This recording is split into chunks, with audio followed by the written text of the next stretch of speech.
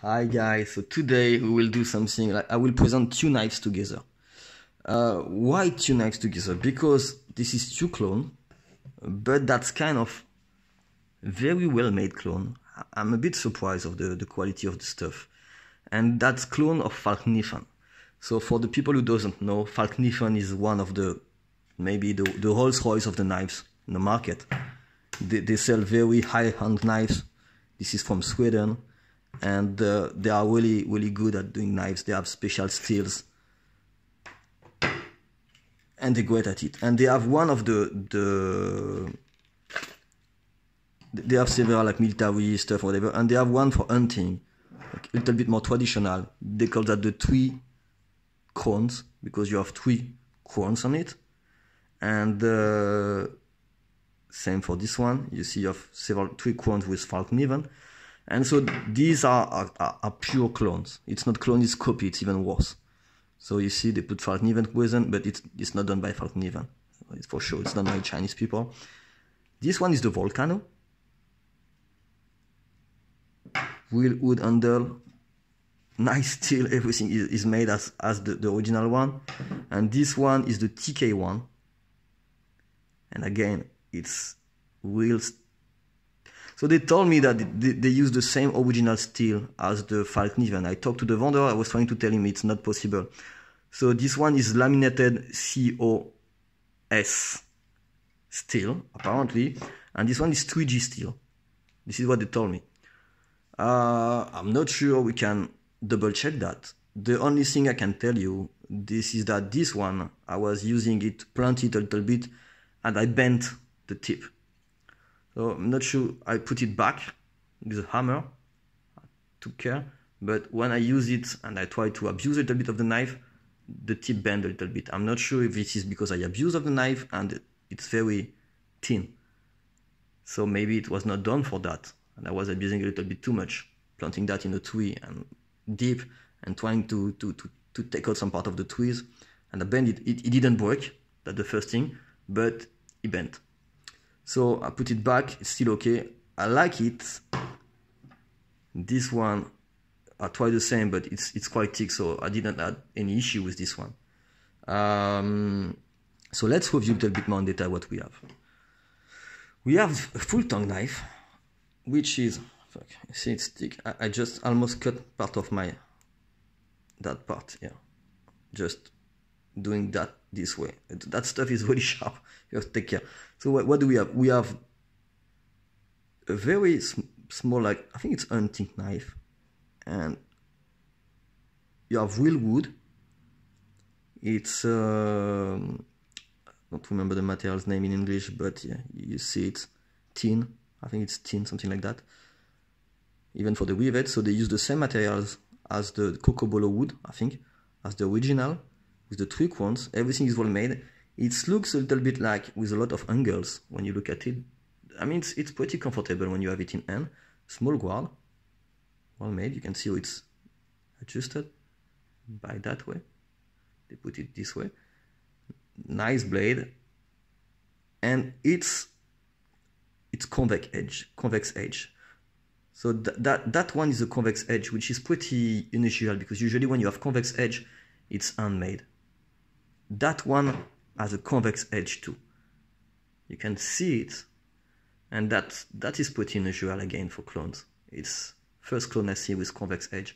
So convex edge is really good, and and it's kind of one of the best edge you can get because uh, it's like for an eggs with the with the form you have more metal on the side and it's protect it, it's it's tougher. I mean that it's more resistant.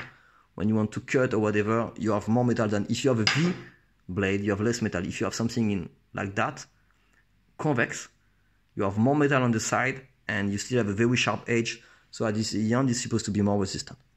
So here again you have two uh, liner, Cocobolo handle, two liner, one liner, and one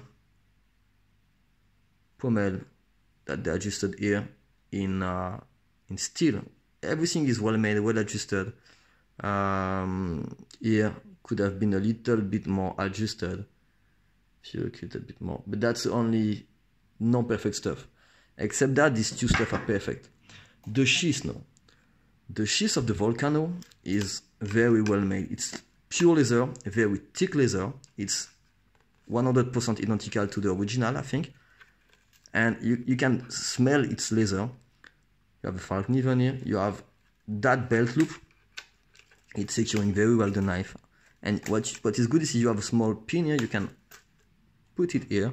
So you can put the knife easily and take it out easily without damaging the, the, the, the belt, the loop. Because when you have the loop on that side and not on that side, the this is that when you take it out, every time you can cut the you can cut it a little bit and damage it. So this is why they put a pin. When you pin it here, you have no issue. So then you can secure if you unpin it. One second, up, I unpin it, and here it's securing very well the blade. No play, no thing. Very, it's very thick. Look at the thickness of that laser sheath. You have a very nice belt loop too that you can easily put on this way. You can see on the bottom have the rivet. So that is cool. Strong. I mean that nothing to say on the sheath. Nothing to say on the knife.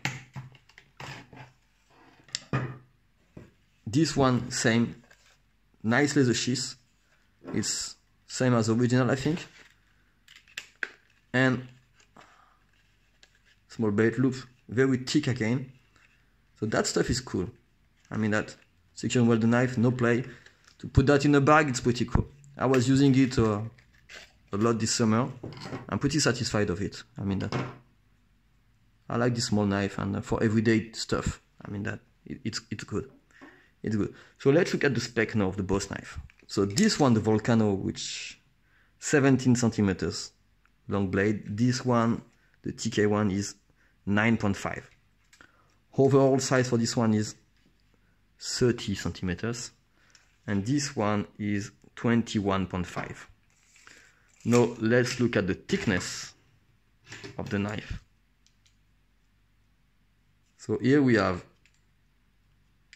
4.5 but I believe if we go there it's almost 5 millimeters. No, it's something, let me try to get it. Yeah, here it's almost 5, I think it's, yeah, 4.9. So, not so precise, but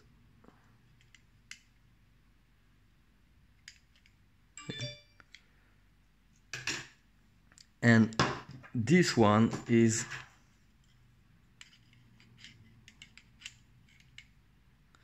six point thirty millim six millimeters thickness. A little bit more, yeah. Yeah.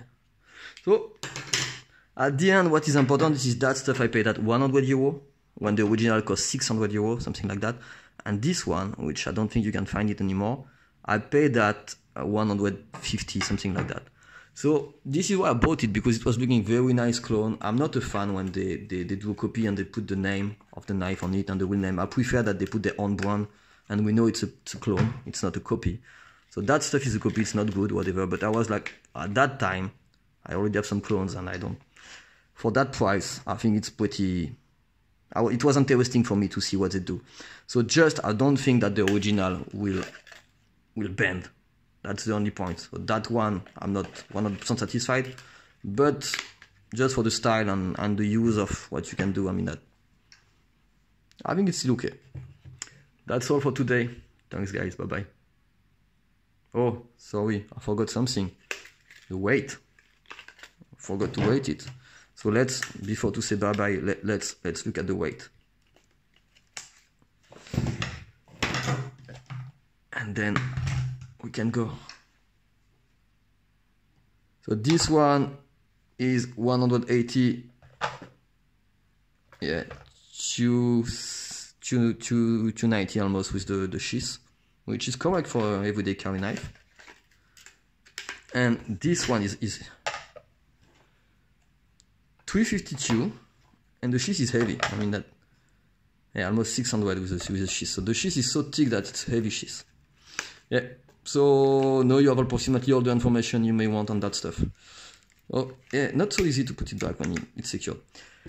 That's all for today. Now we're good. Thanks, guys. Bye bye.